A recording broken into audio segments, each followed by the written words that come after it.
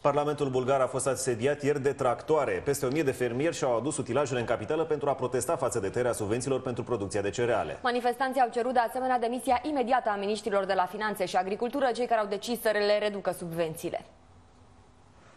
De trei săptămâni, măsurile de austeritate au scos în stradă pe fermierii bulgari. Cultivatorii de cereale au venit din toate colțurile Bulgariei pentru protestul organizat în fața Parlamentului de la Sofia.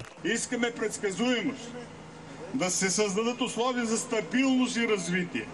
Господа, настояваме за отговорна държавна национална политика в земеделския сектор. Agricultorii spun că programele de austeritate au adus multe laude din străinătate pentru fermitatea guvernului, dar multă suferință în țară. Протеста е главно за това, че ние имаме а, липса на ясни и точни правила и процедури в сектор земеделие. Непрекъснато се менят, затрудняват ни и най-вече ние сме единствените земеделци в Европа, които нямаме намалена ставка на горивата.